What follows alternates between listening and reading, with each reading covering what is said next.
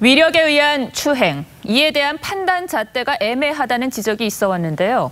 어, 직장 상사가 여직원의 머리카락을 만지면서 느낌이 오냐고 물었다면 어떻게 봐야 할까요? 1심과 2심에서는 무죄로 판단했는데 대법원은 이를 뒤집었습니다. 사건 내용을 보시면서 한번 생각해 보시죠. 권용민 기자입니다. 영상 디자인 업체 신입사원이던 26살 A씨는 상사였던 B 과장 옆자리에서 일을 배우며 짓궂은 농담을 자주 들었습니다. B 과장은 볼이 발그레발그레 부끄한 게 이 화장 마음에 들어요라거나 머리카락 끝을 손가락으로 비비며 여기를 만져도 느낌이 오냐고도 했습니다.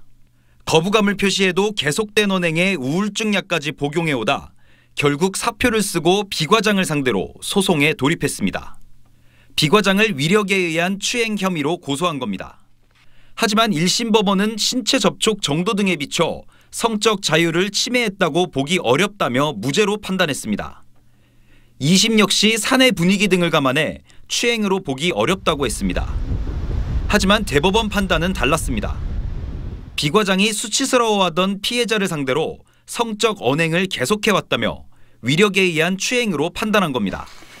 대법원은 원심을 깨고 사건을 다시 돌려보냈습니다. TV조선 권용민입니다.